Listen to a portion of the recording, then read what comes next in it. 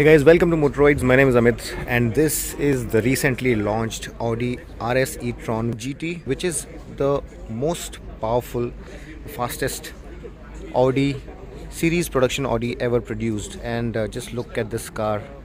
Doesn't it look amazing? The price for this car is 2 crore 5 lakh rupees ex showroom and uh, it simply looks stunning. It's the fifth electric car that Audi has launched here. And with the launch of these two cars the RS e-tron and the e-tron GT so this is the RS e-tron GT and that one there is the e-tron GT there are differences and I'm going to let you know everything about uh, all these differences in a bit. So this is the e-tron RS GT which is the most powerful Audi ever. And let's talk about the performance here. Uh, if you go to see the power output here is 646 HP and 830 Newton meters of torque. And all of that power and torque can propel it from 0 to 100 kilometers per hour in a blistering quick 3.3 seconds. And uh, the 93 kilowatt hour uh, battery that this car has is shared with the e-tron GT as well. However the discharge rate there is uh, slower and uh, the performance of, of course is slightly uh, lower. So this car does 0 to 100 in 4.1 seconds. And the power and torque is also lesser. Here you get 530 HP of peak power and 630 newton meters of torque. Here you get 830 newton meters of torque. So there's a huge difference. And uh, if you look at the styling both the cars of course have a, have a very similar face however if you see the bumper here is body colored and the Audi rings are done in black. But there the Audi rings are done in silver. And here it's a special pack that's been applied here on the bumper. But standard version will have gray inserts here. The headlights on both the cars uh, are LED matrix. But if you uh, wish to you can go with the laser lights as well. And the laser lights are optional and have a throw of 600 meters so that's something that you can also uh, opt for.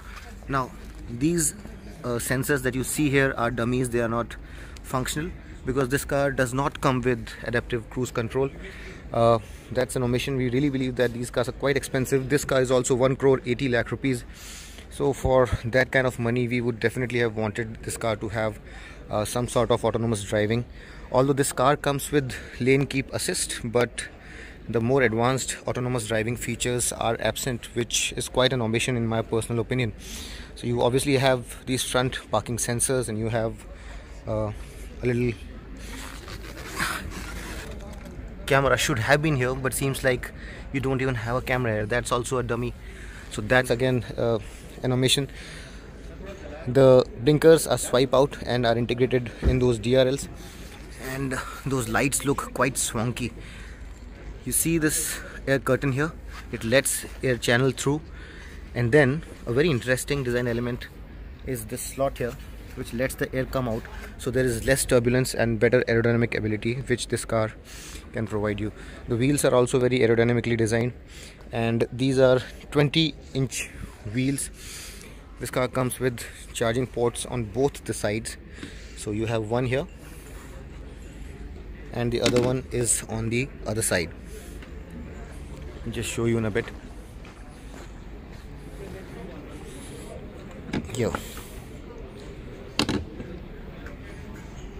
now this is uh, a sportback style and uh, as you can see the roof swoops down gently. And a very interesting design element here is the all glass roof full panoramic sunroof. It looks beautiful from the inside and this is how the lights look when they are lit. Just look at this uh, LED lighting which connects the two sides. So it really comes across as a very very beautifully designed car and it's a one of its kind car in India right now. You don't have any other fully electric uh, sports car. You have SUVs of course. Audi also has uh, its own uh, e-tron which is available in three variants including uh, uh, the sportback and uh, then you have the e-tron and the RS now the RS has a slightly different treatment in terms of the fact that it gets black Audi rings and this RS badging here of course. So more uh, aggressive elements in some parts. Another key differentiator is the brakes here which are more advanced and uh, you won't get these brakes on the standard e-tron GT the calipers here are also painted in red. So that's another differentiation.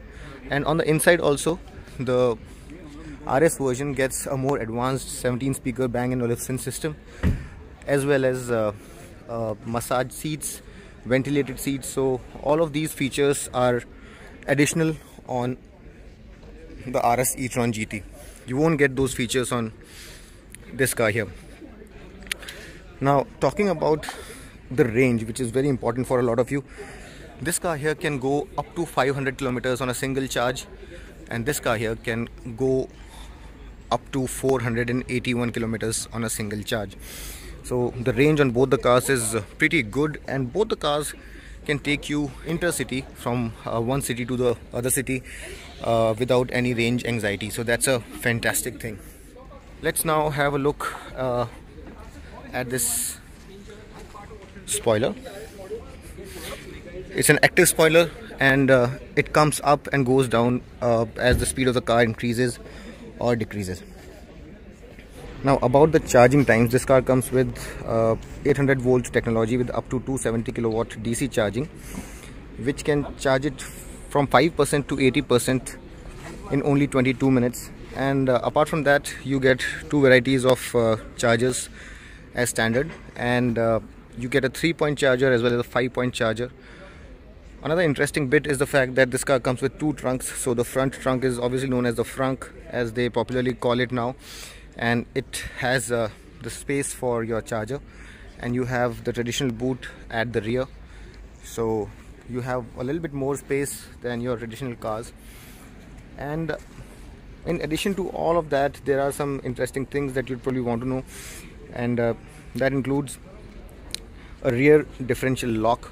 So, you know, you can always bank on this car for uh, handling. It comes with e-quattro. So all wheels are driven. Now this car here comes with adaptive air suspension. So the ride height can go up and down by up to 42 mm however the standard e-tron gt does not come with uh, air suspension and there uh, you get only adaptive damping. You don't get adaptive air suspension. So in that sense also the RS uh, has more equipment. Now we talked about the fixed panoramic sunroof and let me just show you that. It looks absolutely beautiful when you look at it from the inside especially. And uh, let's have a quick look. This is how the panoramic glass sunroof looks from the inside and it really uh, adds a dash of premiumness to the interior. The interior by itself has been done beautifully. It's unlike any other Audi that you've seen. And these geometric shapes very very clean surfacing looks very good. You have this familiar Audi virtual cockpit which is 12.3 inches and a 10.1 inch central screen. You have these illuminated e-tron uh, GT scuff plates frameless windows which make the doors look absolutely stunning. And uh, on this car you don't have uh, the sports seat but uh, on the RS variant you have special seats with RS badging inside. Let's have a look at the dashboard. And you have some familiar buttons here. Drive select traction control off parking sensors and you can turn the screen off using this button. Start stop button and you have some volume controls here. Two cup holders. Drive selector is a little different from what you've seen from Audi till now. And uh, e-tron badging here. The whole dashboard layout is very very different from uh, whatever you've seen on Audis till now. Very clean surfacing very geometric and very very futuristic. There is an armrest here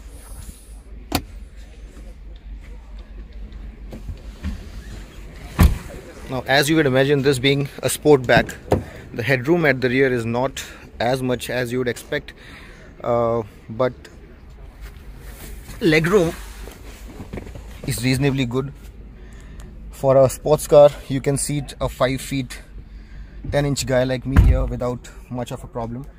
And uh, my head is just about brushing so any taller than me and your head will be brushing with the roof which is absolutely beautiful pardon any fumbles because uh, there are just too many people shooting here and I'll have to finish this entire shoot in one go. So pardon if uh, there are any problems during uh, this conversation. You get a three zone climate control. Here you have the central armrest. And you have individual headrests for all three passengers. This is what the door panels look like again very geometric shapes. A very 3d kind of a look given to the door panels and the dashboard. It all looks very very premium very well put together high quality materials and very well thought out. Now in addition to whatever I've told you you also get all-wheel steering which is fantastic and uh, not just does it provide you great stability at higher speeds at slower speeds it also gives you a very good maneuverability so that's a great feature. Now while this car does not have uh, autonomous driving features it does come with lane keep assist which is okay but nothing too great. And I really believe that for the kind of price that Audi is asking for there should have been more autonomous driving features here. So that's a bit of an omission. I really would have wanted this car to have uh, more advanced uh, autonomous features with the radar and whatnot now in terms of warranty this car gets uh, two years uh, of uh, warranty and high voltage battery warranty of eight years or 1,60,000 kilometers. You can also opt for an extended warranty uh, across a period of 2 plus 2 years or 2 plus 3 years. So you can opt for additional 2 or 3 years of warranty whatever uh, you find suitable for your budget now you also get uh, this RS illuminated scuff plate here on the RS variant. And there are some subtle changes like on the door panels you get this uh, Alcantara and contrasting red sporty stitching. Also the seats are very different. You get sporty seats here with RS badging as I mentioned. The shape of the seats is also very different. You get a D-cut steering wheel with contrasting red stitching Alcantara uh, wrapping on the steering wheel and RS badging as well. So there are uh, some really clear differences as compared to the standard uh, e-tron GT and the seat belt here is also a very sporty red. The roof is of course similar to the vanilla e-tron GT and the theme that you saw up front in terms of the seat has been carried over at the rear as well. So you have this honeycomb pattern and red stitching along with the red seat belts at the rear as well. But the more important thing is that the audio system here is far superior and uh, you get a 17 speaker Bang & Olufsen system which is amazing. This is the frunk and it's open now so that's how much space you have. And you also have illumination there. So that's a view of how much space you have up front. And now since we are on the topic let's have a look at the space at the rear as well so that's how much space you have here. And uh, over 400 liters of space and uh, this should be sufficient for a family of four to go for a short weekend. The boot is powered of course. And uh, while this is a sports car it has enough space uh, to swallow in quite a few uh, bags and take you for a short holiday with your family so that's that guys. The two new Audi cars in India which are electric and which makes Audi the leader in this segment at this point in time. They have five cars in all. And at this point in time no other premium car manufacturer has a sports car which is completely electric. So Audi has the edge. And uh, if you want to go green want to go electric and you want a proper sports car then these are the only options that you have. One last word before I leave. Since Porsche is owned by Volkswagen Group this car was built on the Taycan platform and uh, this car essentially in terms of uh, its architecture and everything is very similar to the Porsche Taycan. So that's that guys. The Audi e-tron GT and the Audi RS e-tron GT and uh, as you can see there's a, a lot of crowd here so it's very difficult to get a clean shot but I did what I could and I really hope that I was able to give you some insight into what these cars are like. And if you like the video hit that like button subscribe to Motoroids and until next time this is Amit Chhangani signing off. Rev hard rev free and drive safe